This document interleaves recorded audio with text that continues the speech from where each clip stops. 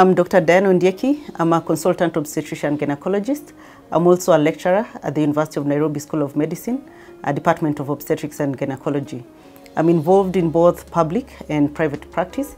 Public, I'm based at the Kenyatta National Hospital, which is the largest referral hospital in Kenya, and also private practice here at Trinity Reproductive Center, where I offer fertility services to my private patients. I did the postgraduate diploma in sexual and reproductive medicine under the Merck Foundation, More Than a Mother program. So this postgraduate diploma in sexual and reproductive medicine was actually very satisfying. I've never done another program like this one. The tutors were very interactive, always there to post questions, to address the feedback that uh, the students were giving. And I learned a lot on aspects of human sexuality and also on aspects of uh, fertility treatment. When it comes to human sexuality, there is both the male and the female factor. So I'd only done it on an introductory basis, but with this course I was able to go deeper and I was able to learn a lot of the male, uh, male sexual disorders, the female sexual disorders, how to treat them and manage all of them.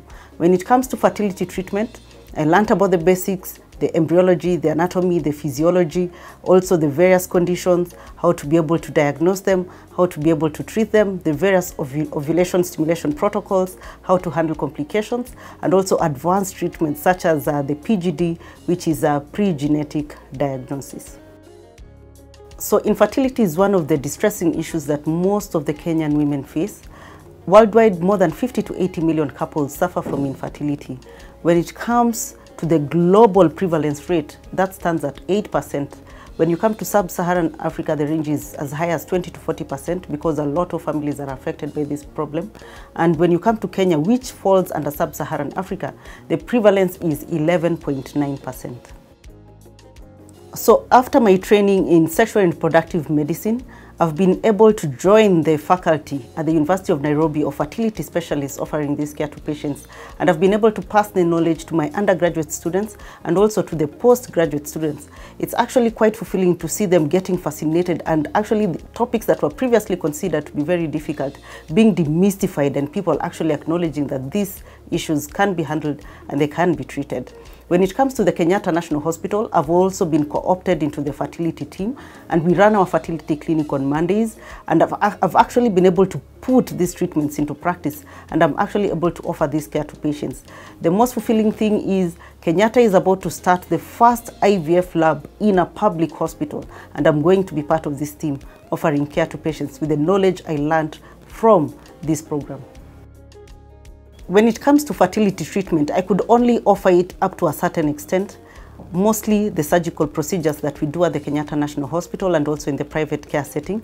But now with this program, I'm actually able to offer IVF, which is in vitro fertilization, and also other assisted reproductive techniques, especially those that affect the male partner. And now I'm able to do procedures such as ICSI, where a sperm is actually injected into an egg and a couple is able to conceive. As recently as last week, I did a procedure. Suddenly for the woman, I was able to get one egg.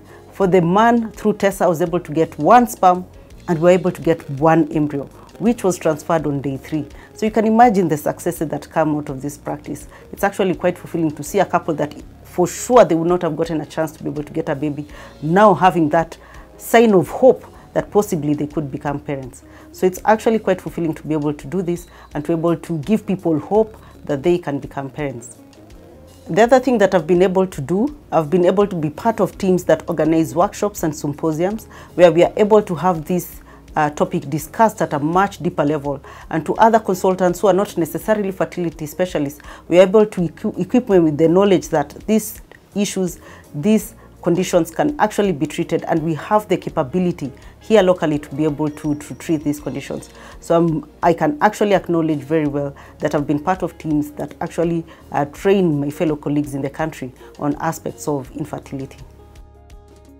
Seeing that I learned a lot from this uh, program, Sexual and Reproductive Medicine at the University of South Wales, the Merck Foundation More Than a Mother program, I would highly recommend it to my fellow colleagues because I was able to learn what I actually need to be able to assist patients with infertility problems. There's a still uh, there's still a lot that needs to be done. Uh, patients are suffering. Um, sadly, even when a couple is able to conceive, women are not really considered woman enough because you are assisted to get conception. But unless you talk about your, about your story, people will just be happy that you're able to get a baby, and that's what really matters to most couples. So definitely to be able to to reduce on this burden that I just spoke about of 11.9% of couples in the country being affected, I would definitely encourage it to other people so that we have a critical number of specialists in the country who are, who are able to assist uh, women with this problem. I would definitely want to thank the Merck Foundation. Um, I do not take it for granted that I was part of the few people who were selected to be able to do this course. I'm greatly appreciative of the support, of the sponsorship that I got, and it's actually bearing fruits now.